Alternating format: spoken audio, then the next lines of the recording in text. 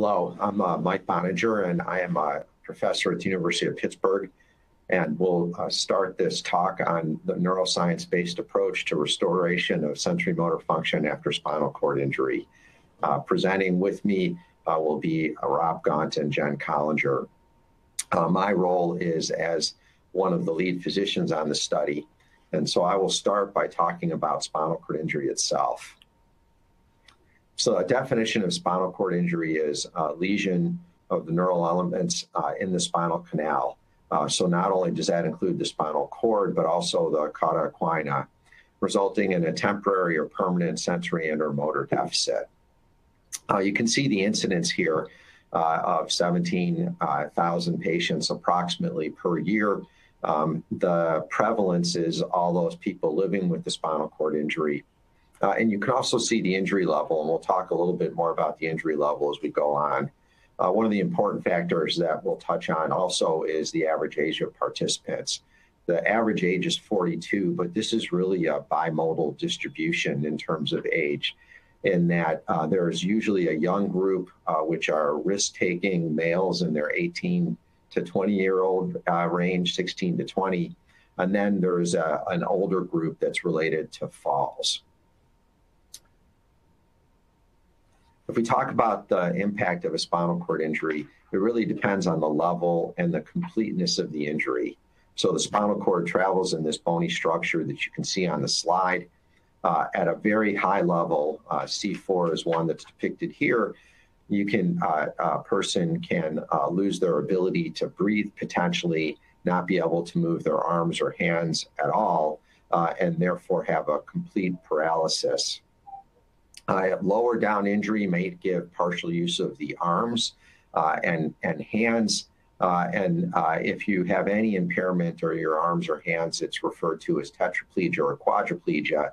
Uh, injuries below that level, uh, so below T1 in general, are considered to be paraplegia, meaning that the arms function normally.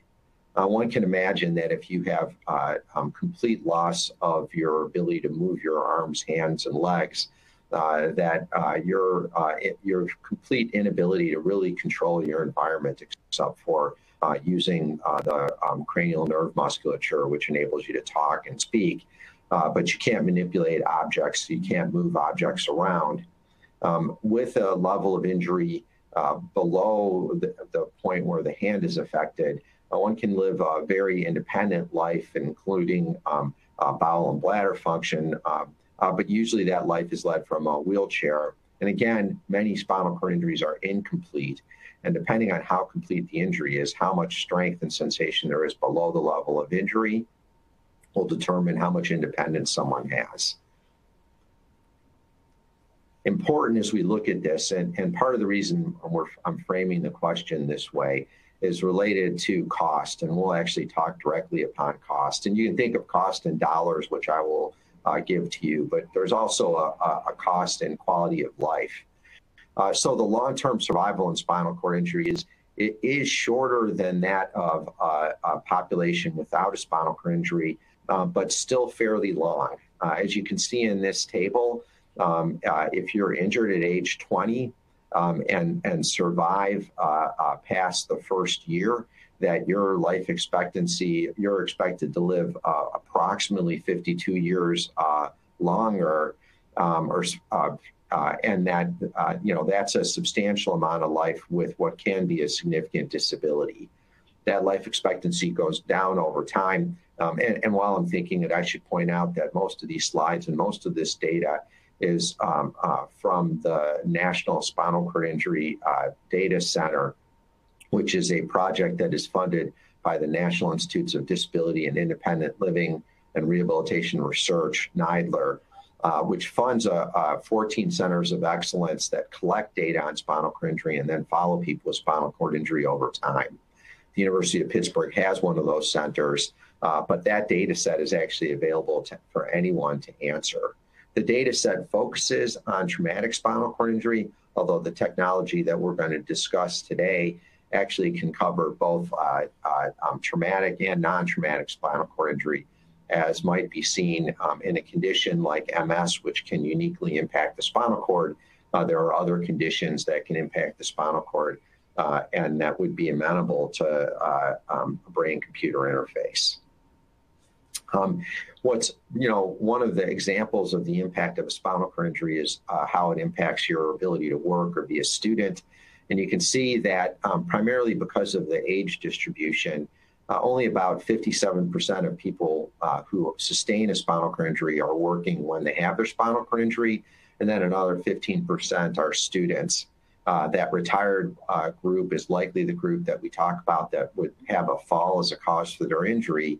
Uh, the most important part, though, is the chart at the bottom of the slide, which shows that at injury, we have that 58, 57% employment rate, 15% students. But just one year after injury, the employment uh, rate goes down from 58% uh, to 12%.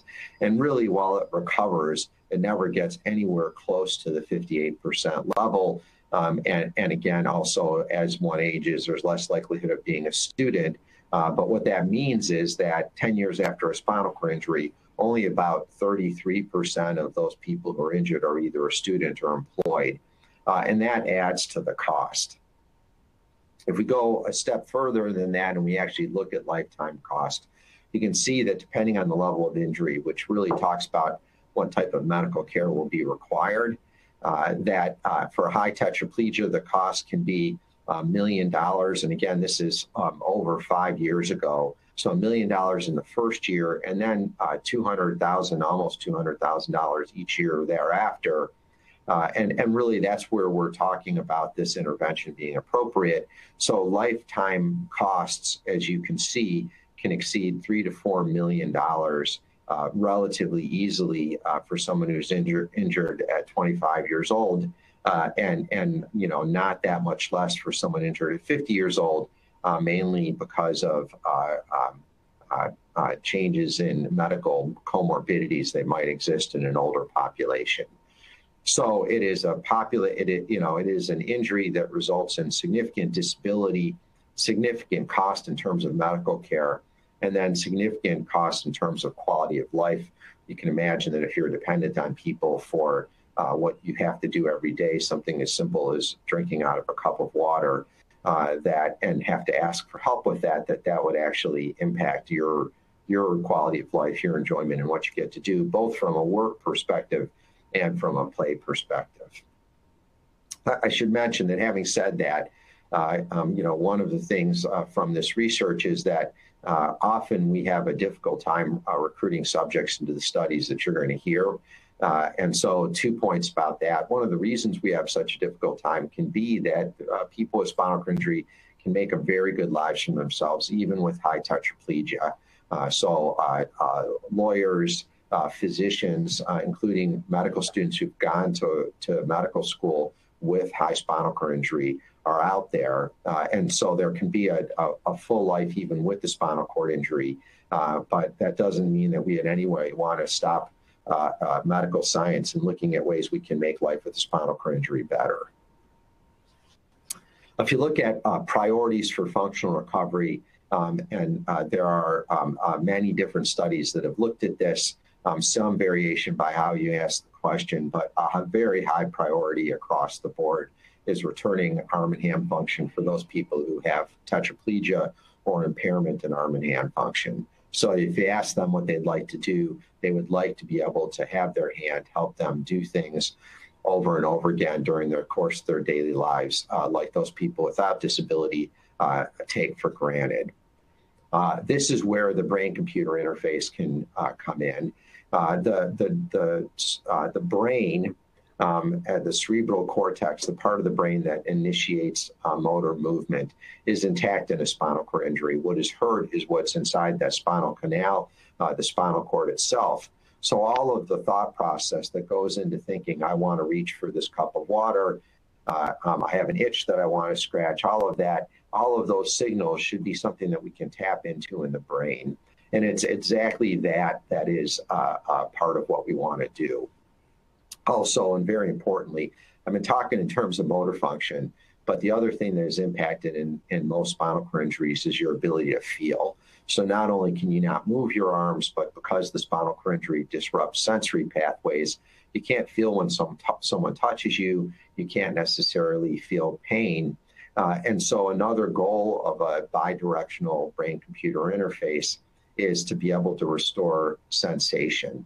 Uh, and, and so what you have here is a diagram. Um, you can see uh, that there is a brain on the left side of the screen. Um, the ideal scenario and one that really mimics the human body is that um, it, as the hand, as you see here, being a robotic hand, is interacting with the ball, there are sensors in the hand. Those sensors follow that red path and stimulate the brain, thus uh, restoring a feeling of sensation in a participant's own hand as they uh, um, as the robot grips the ball. So the the, the ball is gripped. Uh, the sensors on the hand uh, uh sense that there's stimulation that make it, it feel as if uh, someone's own hand is touching something, and then based on that touch, uh, the brain says, "Hey, I need to grip this ball a little harder. I need to let go of the ball," and the the brain computer interface is able to decode that signal and control the robotic hand. Um, so this is the basis of what we're trying to do uh, uh, with this study. In the absence of sensation, um, fine uh, motor control is really impossible. Uh, and, and, much of the work that has been, been done to date in spinal cord injury has uh, uh, used visual feedback as the only sensory feedback, which is slow and obviously for a dexterous movement, something where you'd move your fingers to manipulate a fine object, um, your vision is obscured by the fingers themselves, and sensation becomes uh, very important. Just uh, taking a step back, you're going to hear about some great work that we've done here. Um, this is uh, truly a, a, team effort, um, and that team effort uh, crosses many different lines. Um, there is a clinical line, and so there have been um, uh, two two physicians, myself included, very in, um, involved in the study. The other physician is Elizabeth Tyler Kabara, who's a neurosurgeon here. Um, and uh, the two of us have uh, been responsible, the whole team is responsible for the health and safety of the participant.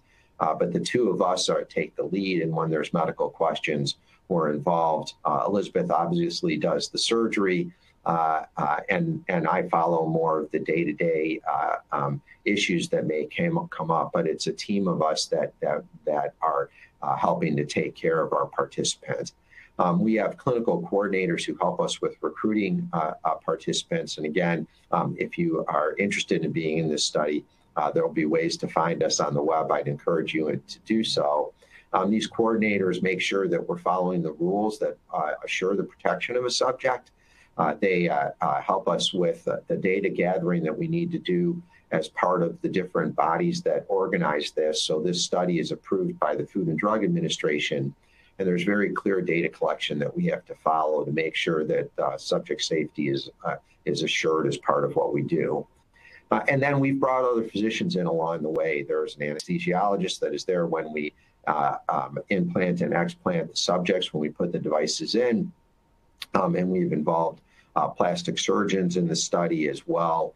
Uh, and basically, the whole team at the University of Pittsburgh is here for us as uh, we need their help. Uh, a huge component of this, um, and, arguably the largest component from a pure discipline perspective, is in engineering or bioengineering. Uh, so uh, the hardware and software, both of the robotic arms, of the recording devices, of the stimulated devices, all have to be synced together with the software program. We have to uh, process the signals so that we understand what the person's intent is when they try to move.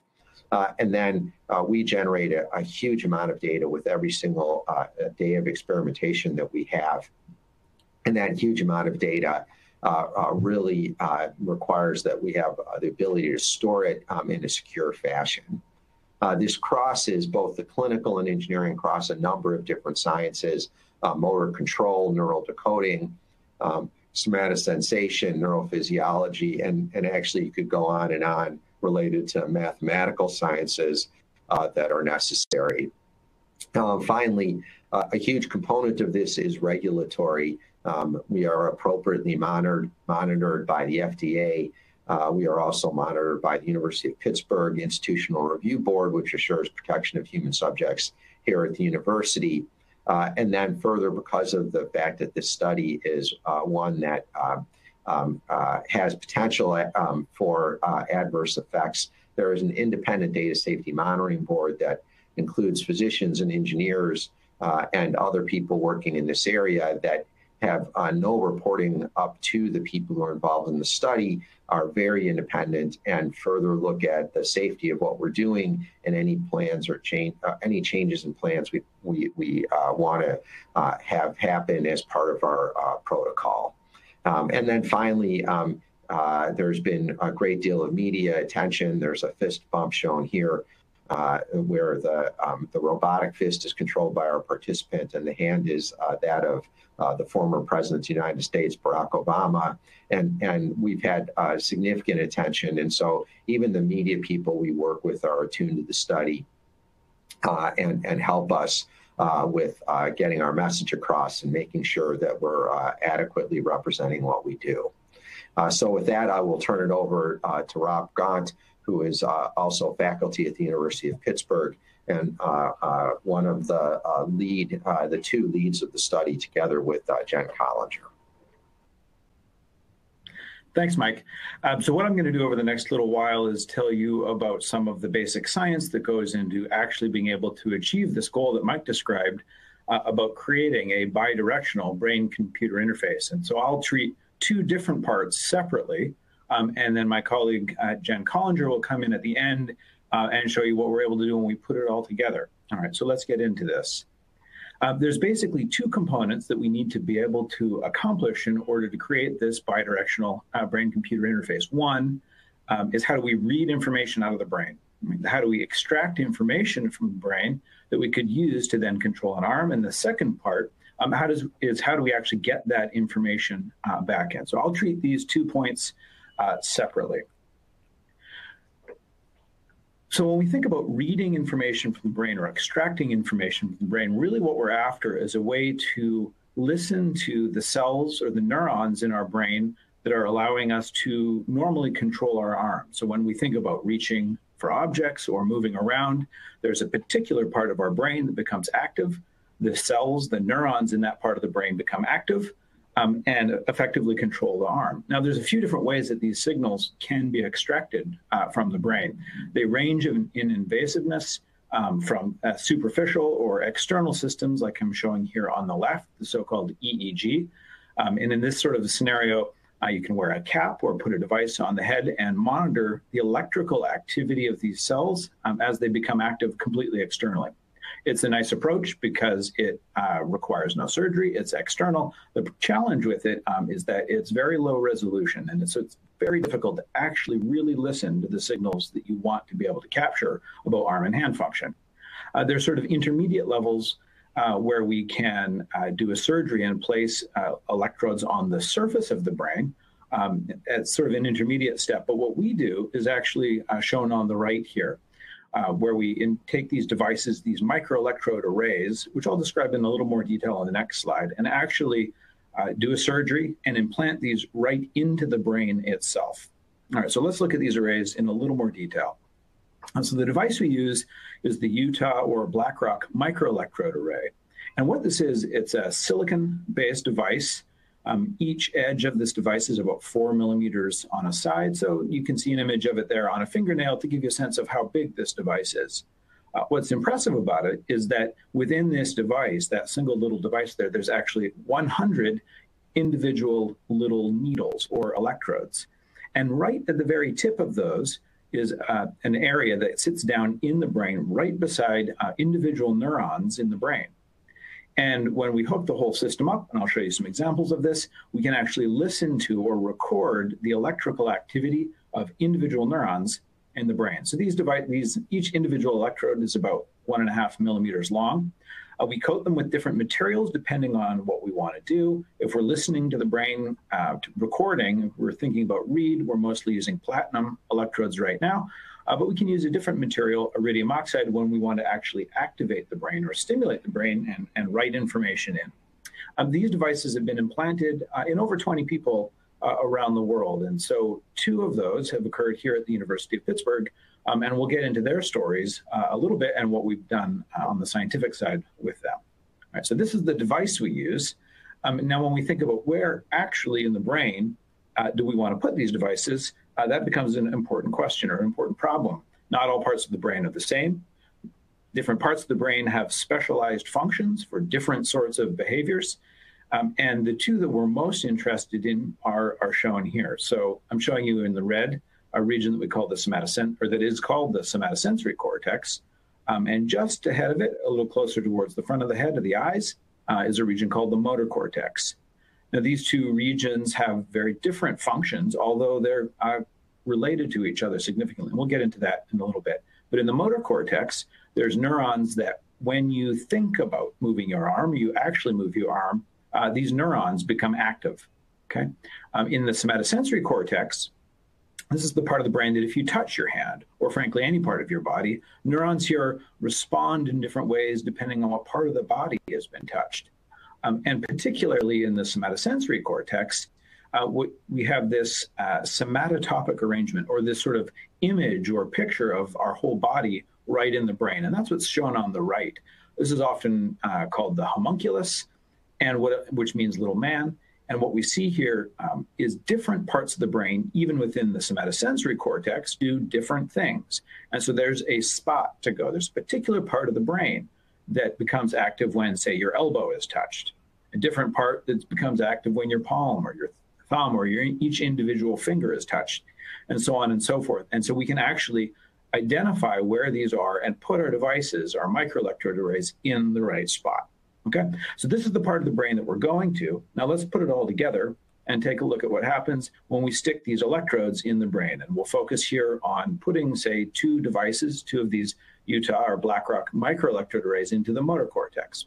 If we put these devices in there and then we actually ask a person to imagine or attempt to make movements, um, what we see is all these little squiggles here. So each one of these little black squares represents one of those electrodes in the brain and the little gray lines represent uh, the electrical activity uh, when an action potential is fired by one of the neurons. We see a, a, zoomed in view of one here, and we can see that this particular electrode is actually recording two different neurons, the one here labeled in orange and another in blue. And so this is fundamentally the signal that we're working with. Each one of these little squiggles or traces represents a single neuron in the brain activating or firing or generating action potential when we think about a movement. So this is what we're working with. The question next, obvious one, is what do we do with this information? And so I'll, I'll walk you through a little bit of the detail on how we interpret these signals, which we can then use to control a robotic arm. And so what we uh, what we work with or what we think about is this idea of directional tuning in motor cortex. And so this was uh, some thoughts that were uh, popularized or really discovered by Georgopoulos um, and, and uh, Andy Schwartz. Andy Schwartz is a faculty member here at the University of Pittsburgh uh, who did a lot of the basic science work to figure this thing out. And I'll describe this uh, basic idea in, in this slide here. Right. And so if we have a monkey uh, sitting down at a table and moving his arm to the left or right or up and down, and we record the activity of a single neuron in the brain, what they found is that you can see really uh, substantial differences in the behavior or the activity of that single neuron when you make reaches in different directions. So if we move to the middle panel here and look at this blue, uh, this blue region, what you'll see is that if you look sort of in the upper left-hand side in the orange region, you'll see all these little black tick marks. Every one of those little vertical marks or slashes represents a single neuron generating one of these action potentials. And you can see that when the monkey's making a reach sort of up into the left, there's a lot of these marks, right? So this neuron becomes very, very active. Um, and in the opposite direction, if we look sort of down into the right, uh, well, we hardly see any of these marks. They're mostly gone. And so what this particular neuron is doing is becoming really active when the monkey reaches up into the left. And it becomes almost silent or quiet when you move down into the right. And so you can create a, a mathematical relationship that describes um, how the monkey's moving his arm and then relate that to the activity of this individual neuron. And in this case, what that looks like uh, is this small equation down here, um, where F represents the firing rate or activity of a neuron, and basically, this is a weighted sum or a combination of the activity um, that's driven by movements in different directions. And so the firing rate uh, is driven by, um, or we model it this way at least, the firing rate is a function of the velocities of the arm in the x and y direction. Okay, this might be. I think we'll see one more equation that might be it for equations for this talk. But then we can we can expand this idea um, and add as many things as we want, right? So if the monkey's uh, just reaching on a pl- on a table like this. Now you can imagine rotating the wrist or making grasping motions, and we can follow the same basic idea that the firing rate of a neuron is effectively the weighted sum of the um, of all of these different motions. And so if we record from a lot of neurons at the same time, what we can do is then create a decoder that turns all of that activity um, into what we believe the intention of the movement was right? So the neural activity is really modeled as this weighted sum of the movement intentions. Okay, so that's kind of the math behind this a little bit. And you can just really think of this as when you move in a particular direction, certain neurons become highly active, and we can pick that up and then recreate those motions. All right. So we've got these arrays in the brain, we can understand what they're saying, and now what we need to do is actually figure out what all the elements of those individual equations were. And that's what we do um, in this BCI calibration step. And effectively, what we do if a person comes into the lab, they sit down, we hook them up, and they watch on a on a computer screen uh, a virtual robotic arm making a bunch of motions. And we basically create a series of random motions. You can move up the left, then we can rotate the wrist, open or close the hand, and sometimes there will be objects there. And we create sort of a new set of these random motions each day and we ask the person to follow along and attempt to make those motions. Now they can't of course because of the spinal cord injury but nevertheless the key point here is that even attempting to do it or thinking about doing it even if your own arm doesn't move still generates the same pattern of activity or at least a similar pattern of activity in the brain one that we can understand and so this is the calibration step um, that we do every day Okay. Now, we've worked with two people in this study uh, to date. Uh, the first subject was a 52 year old woman at the time of implant who had a spinocerebellar degeneration, which left her uh, effectively paralyzed below the neck. And she had two devices implanted in the motor cortex. The second participant was a 28 year old man at the time of implant uh, with a spinal cord injury. Um, he actually had four devices implanted in his brain two in the motor cortex and two in the somatosensory cortex. And uh, what I'm what you'll see here um, in a video in a moment uh, will be if we put all of these pieces together, you'll see a video of this second participant uh, controlling a robot arm by thinking about making motions. What he'll be doing is he'll be reaching down uh, to these objects that are placed on the left-hand side of the table, picking them up and moving them to this raised platform. And there's a couple of really important points here is that every aspect of this robot is controlled only by him thinking about it. He could do anything he wants, but what he's choosing to do is do this task that we've asked him to do. So the computer's not really helping at all. They're just interpreting the activity of his brain to control the uh, to control the robot. You'll see an example of that um, in one of the objects where he reaches down to pick up a rock, but the rock actually slips out of his grasp. He recovers and goes and picks it up again and successfully completes the task. Uh, so we can go ahead and play that video and you can take a look at it.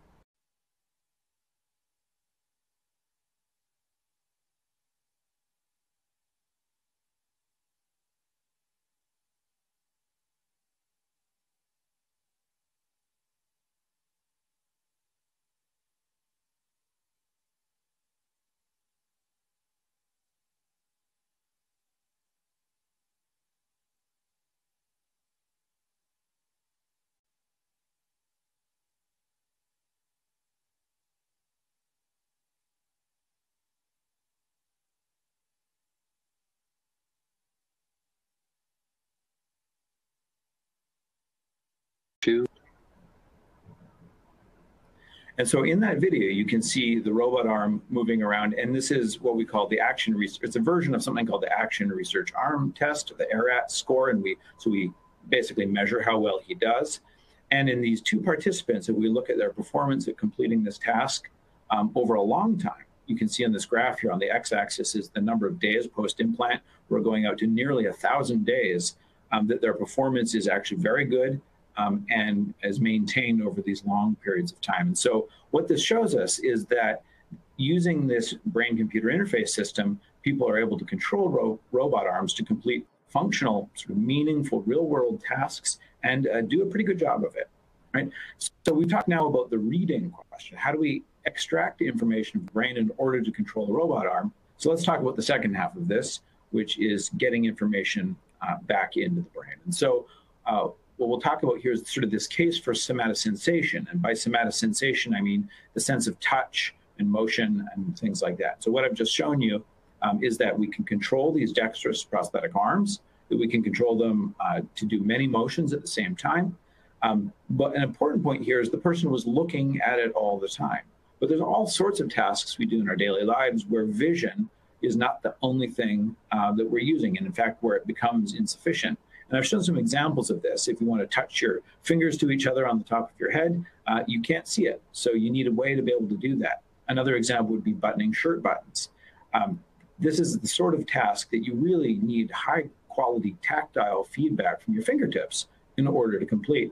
Or if you're grabbing, say, a Nerf ball and you want to see how hard or soft it is, um, these are the sorts of things where somatosensation uh, is really important. Sort of a, a, stunning example of this, really, in some ways, is shown in these two uh, images here, where on the left, the person grabbed a match, really easy task, pick a match out of the box and light it. And that's sort of the normal scenario. On the right, though, where you can see her struggling with this task, the only thing that has been different um, is that she's had uh, the, the fingertips have essentially been anesthetized. And so she cannot feel the objects. And you can see her really struggling to pick up these objects. After enough time, she does get it. But this sort of illustrates the challenges involved um, in trying to do daily tasks if you cannot actually feel the objects you're trying to work with. And so what we've done is to try and fix this or to address this issue is we want to restore and generate these sensations. The way we do that is by electrical stimulation of the brain. And so we take these same devices and rather than recording the activity of individual neurons, what we're trying to do is electrically stimulate them. And the idea here, the concept, is that if we force these neurons to become active, that the person will experience this as the sensation of touch. So if we stimulate the right neurons, we can make we can sort of create the sensation of touch, and that's in fact what we did. And so in this particular uh, person, what we found is that when we electrically stimulate on individual uh, electrodes, that generates a sensation that feels like it comes from his own paralyzed hand. And so what you can see sort of in the middle here um, is the representation of two of these smaller electrode arrays in the brain. And where you see a color, say an orange square, that's one of those individual electrode tips that I showed you earlier on the Utah array. And when we electrically stimulate with small currents through that device or through that individual electrode, it generates a sensation on the similarly colored part of his hand. So you can see with these two devices, we generated sensations um, that he described, that the participant described as coming from uh, his own hand, uh, according to the map that I'm showing you here. And this is work that was really uh, largely done by Sharlene Flesher, uh, who was a former graduate student uh, in the lab. An interesting thing here is that if we look at where these sensations are coming from, it follows this arrangement that we would expect to be present in the brain. And this is even after a decade uh, after the spinal cord injury. And so this somatotopic organization is persistent in the brain even after a decade, and we can use that or leverage that um, for the purposes of this device. Um, by the way, this was the first time that this kind of a study had ever been done in a person before, and one of the questions we were really interested in uh, was how stable would this be over time? It was, you know, it was uncertain whether microstimulation in the brain would be able would work for a long time. And so, what this slide shows here is that over the course of 1,200 days, as we've been stimulating, and even in fact longer now, that the organization in the brain remains the same. We're able to use it, and roughly speaking, it's it uh, it doesn't change. And so, 1,200 days after the implant, it still was working, and you could even argue that it's working better than it was um, over the first few hundred days of the study. So again, each little color dot represents when we stimulate on an individual electrode, what part of the hand does the person describe a sensation as originating from? I'll spend a couple of moments talking about some of the details of this uh, before I pass it off to Jen to, to put it all together for us here at the end. Uh, one of the important questions is we wanted to know uh, effectively what the detection threshold is. So as I, as I mentioned before, we're using tiny pulses of electricity to activate these neurons. And a, and a relevant question is how much current, how much uh, stimulation current do we need to actually cause a sensation? And so this is what we call the detection threshold. And so we can do some tests to measure this. And what I'm showing you on the left here is if we look at all um, the detection thresholds from all of the electrodes, about 100 days after we did the implant, you can see that the median detection threshold is about 32 microamps. So that's 32 millionths of an amp. Um, what's really interesting is after 500 days, when we repeated this, um, the detection threshold had gone down to about 14 microamps. And so we are able to use less current to generate these sensations as time goes on. So that's a really positive and encouraging sign for sort of the utility um, of this kind of a device or interface in the long term. Another thing we found is that when we turn the stimulation amplitude up, we wanted to know what happens. And what we're showing here is that if we turn the stimulation amplitude up, we start low and then we go high and we ask the person to say, What do you feel? What does it feel like? Um, in fact, how intense is it? What we see is a linear relationship between the intensity of the, his perception of the stimulus and the current amplitude. And so what that means is that um, we know now that if we stimulate on this electrode or that electrode, we can cause sensations in different parts of the hand.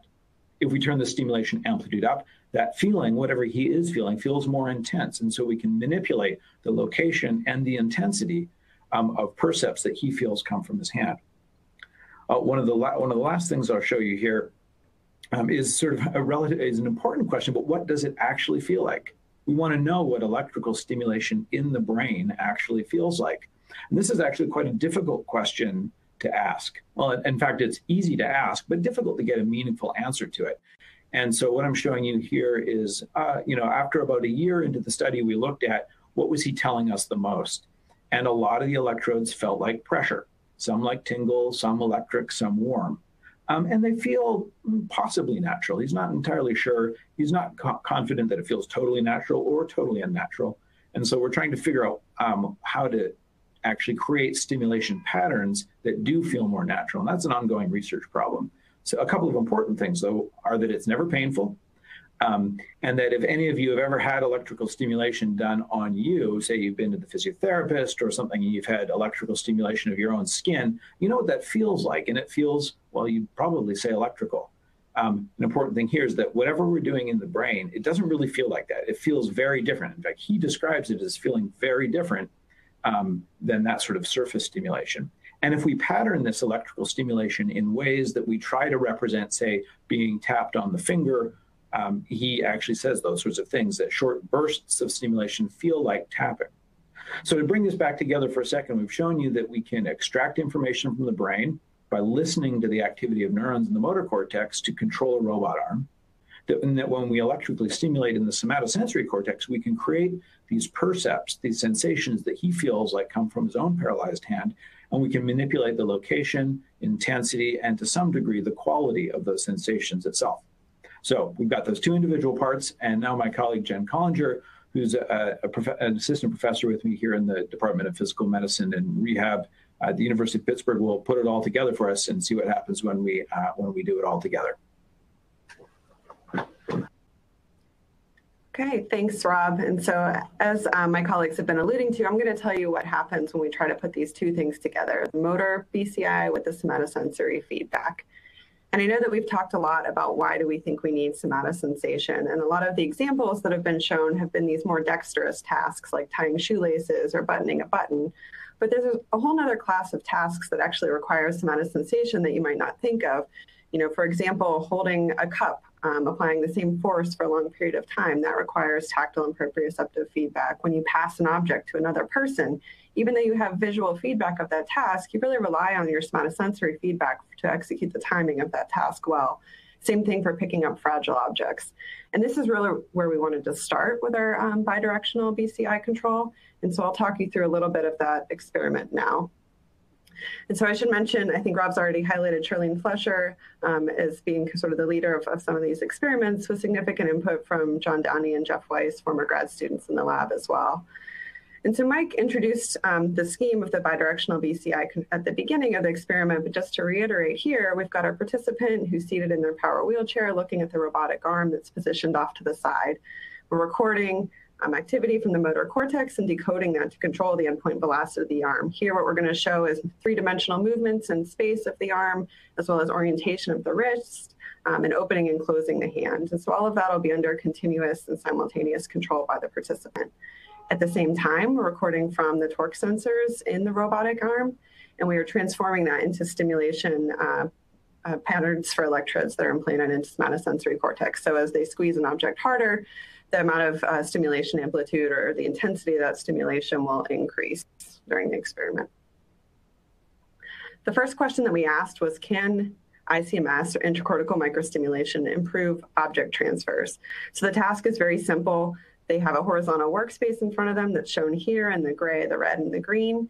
An object is positioned on the left-hand side of the workspace in what we call the grasp zone. They need to move the robot to the left, pick it up, lift it over the transport zone, and set it down in the release zone. And then the experimenter quickly moves it back to the grasp zone, and they try to do that as many times as they can in two minutes.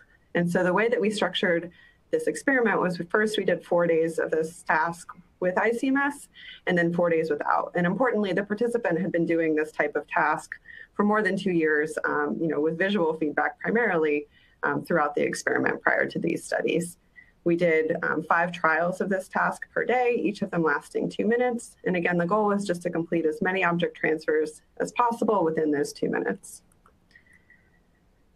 And it turns out that um, ICMS did improve performance on this task. So without stimulation across all of those trials, he was able to complete 315 transfers as compared to 352 with stimulation.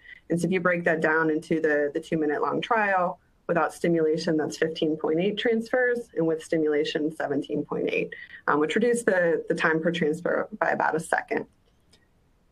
And so to give you a sense of what this looks like, what I'm showing you here is um, sort of that horizontal workspace again, but now we're looking at a heat map where the intensity of that color is telling you on average for a trial, how long did the participant spend with the robotic arm in a particular area of the workspace. So if we look at the graph on the left first, um, where he was performing the task without ICMS, you can see in the grasp zone, you know, there's this center of activity shown in yellow around where the object was. And remember, the task is to pick it up, move it through the transport zone, and release it. And so you see that there's a lot of time spent hovering on the left side of the workspace near the grasp zone, particularly when you compare it to the right, the figure on the right, where there's never um, quite that intense um, yellow that you see on the left, meaning that he didn't spend as much time in that grasp zone. You might also notice that there's more variability in the area of the workspace that he explored without ICMS. And so we can quantify this. Um, if you look at the amount of time that he spent in each of these zones that I've defined, the biggest improvement by far was seen in the grasp zone. So he was able to decrease the amount of time that he spent in the grasp zone by about a second, which is, you know, doesn't sound like a lot, but it's really a 30% decrease in the amount of time that he was spending trying to grasp that object. There was no significant difference in the amount of time it took him to transport the object across the workspace. But then in the release, um, we also saw a slight decrease of about a half a second or 18% in that release zone as well. And so we wanted to know what actually caused the reduction in that time that was spent in the grasp zone. And so we quantified the distance that the arm was traveling within that, that grasp zone uh, prior to object contact. And when he had stimulation, you can see there in the blue histograms, this is showing the number of trials for a given path length. The blue trials tend to cluster on the left-hand side, meaning that he was traveling less of a distance in that grasp zone than without stimulation, which is shown in gray. And so overall, he was moving about 12 centimeters less uh, per transfer when he had stimulation.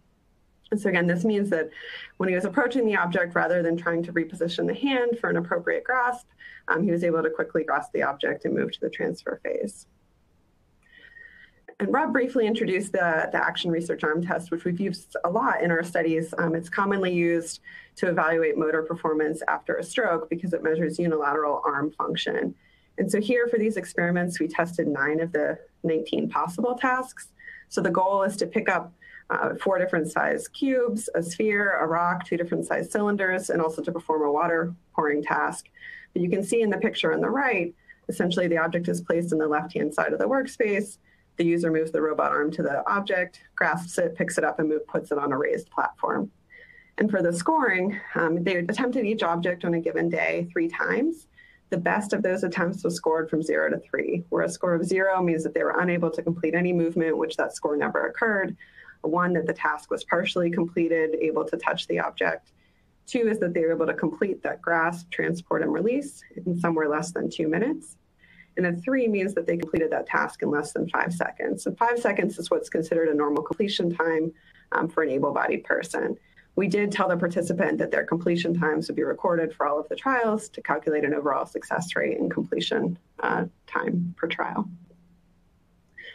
And so again, on this task, um, we saw improved performance with stimulation. And so what I'm showing you here in this graph, first, um, I'm showing you the scores that the participant was able to achieve really over the two years prior to these experiments, where most of these experiments were done without uh, somatosensory feedback as shown in gray. A few times we did try um, providing sensory feedback shown in blue with different settings than what were, were tested here, usually a single channel of, of stimulation. But what you see is that when we moved to um, the ICMS experiments shown in the middle column here, the score improved over all of um, the scores that he had achieved over the past two years. And then when we took that away for the final four sessions, it returned back down to uh, the baseline level.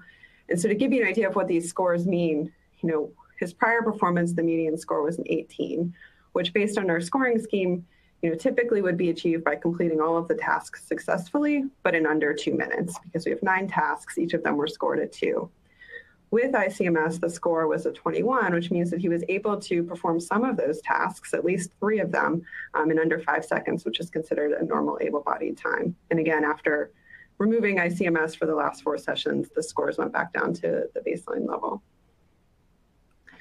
So again, if we look at um, how long did it take him to complete these tasks? Here I'm showing you a histogram of the number of trials that he was able to complete within different time periods. And so without ICMS, the median completion time was 29, 20.9 seconds out of all of the successful trials that were completed.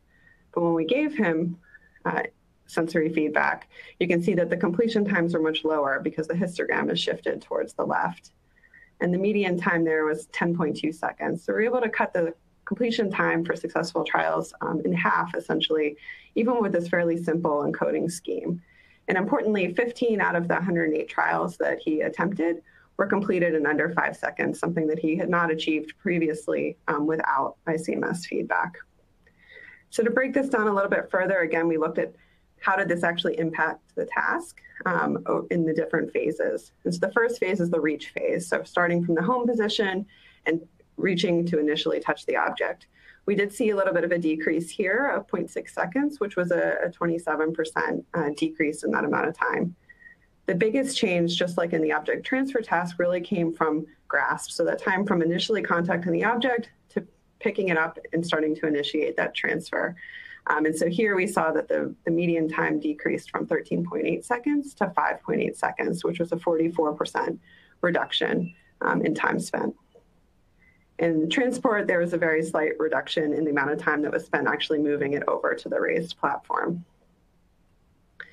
So to give you a sense of what this looks like, um, after this, we'll play a video showing you for each of the different objects, what was the fastest trial that he was able to achieve with ICMS feedback shown on left, on the left, and without ICMS feedback shown on the right. And so what you see is just like the, the data we're showing, is that um, with ICMS feedback, he's much more confident in reaching towards and grasping the object and initiating that transfer over to the raised surface. Whereas without ICMS, often he's sort of taking extra time to position the hand to ensure that the grasp is going to be successful. And so now we can play the video.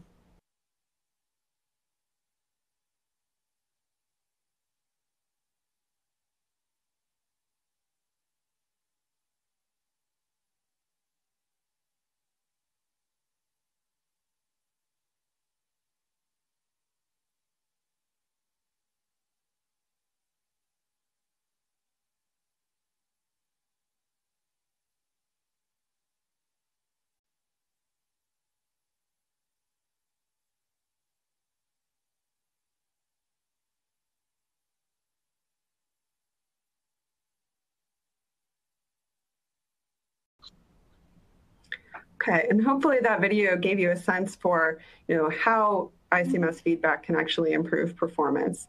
And so even though, you know, Rob started out by showing you that you know using this decoding scheme we can achieve high performance with visual feedback really what this study shows is that bci control without somatosensory feedback is impaired right and here i'm showing you again one example of, of how we quantified that in terms of a, a reduction in completion times when we added sensory feedback but this lines up with what um, people have observed you know in other cases where for there's a neurologic condition that results in deafferentation or um, using sort of uh, surface anesthesia to, to anesthetize the digits, you know, where people are able to do tasks and ha- able to perform movements without sensation just using vision, but they're impaired when you when you take that away. And we think that ICMS of, of area one of somatosensory cortex, which is where these electrodes are implanted, is improving performance in a way that is congruent with natural cutaneous feedback. And there's a few different pieces of evidence for that. So first is that when we added this feedback, it improved performance you know immediately even though he'd been practicing this task for over two years which seems that you know it's not sensory substitution or something that needed to be learned he was able to integrate that naturally and improve his his motor control and importantly when we took it away it also returned to baseline very quickly. You know another way that we think that this um, shows that it's congruent is that really the improvement came from this increased certainty around grasping. So we spent less time trying to position the hand to grasp. And we know that somatosensory uh, feedback typically cues very strongly to these times of state transitions when you're going to initially contact or release an object. And so we saw improvements in those areas that sort of line up with what we know from the neuroscience of how um, somatosensory feedback improves motor control. And so with that, I'd like to acknowledge our, our large team. Um, just three of us have been here talking today, but really there's a lot of work that goes on um, to this, thanking our students and postdocs, as well as our faculty collaborators. And of course, we could not do this work without our study participants who dedicate an extraordinary amount of time to helping us um, learn the neuroscience that goes into developing these devices to restore upper limb function. So thank you.